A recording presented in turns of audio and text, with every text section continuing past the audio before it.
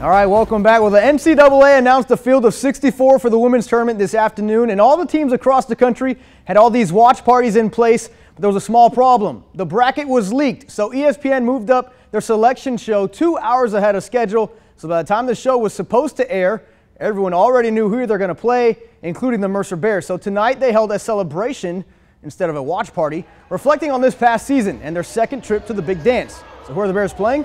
Mercer enters the tourney as the number 15 seed.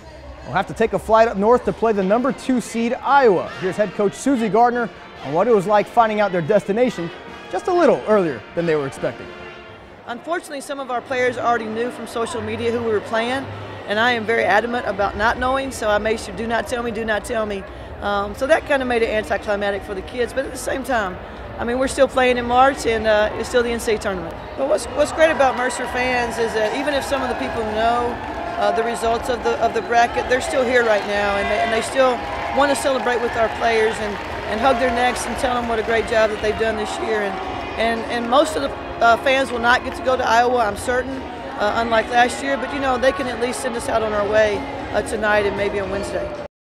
All right, Mercer and Iowa will face off on Friday at 2 o'clock in Iowa City. We will keep you updated with their progress. Don't forget, March Madness is all about filling out a bracket, and you at home can now fill one out as well and compete with all of us here at 13 WMAZ. Just go to our website to join the bracket challenge.